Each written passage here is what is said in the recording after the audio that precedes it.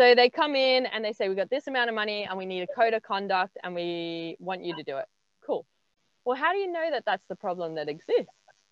Like, shouldn't we make sure that we're spending your money in the right way so it's going to have the biggest impact? So just start talking little sentences like that. And then some clients would be like, just build the code of conduct, Kim, and we got this amount of money. I'm like, okay, cool. And I do that. And then 12 months later, they say, hey, remember like when you were talking about like talking to people and maybe training wasn't the problem, maybe we should do this mm. or this. Can we have a conversation about that? Because we've got a new project and we need to do it differently. So it was worth having that conversation, even though it went nowhere 12 months ago, because now they've come around to caring about the process, which is where I mm-hmm. want people to be process because we're solving the right problem. All you can control is try and influence them through a conversation about, hey, how do you know we're solving the right problem here?